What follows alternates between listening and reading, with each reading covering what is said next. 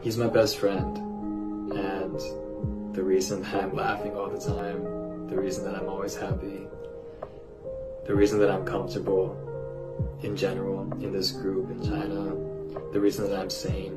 I feel like any any situation I'm in, every problem that I have, I can go to Daniel, and he can help me through it. Um, he's my support system.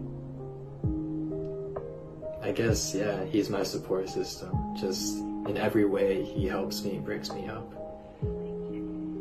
Just mentally, personally, emotionally, he just brings me up and helps me.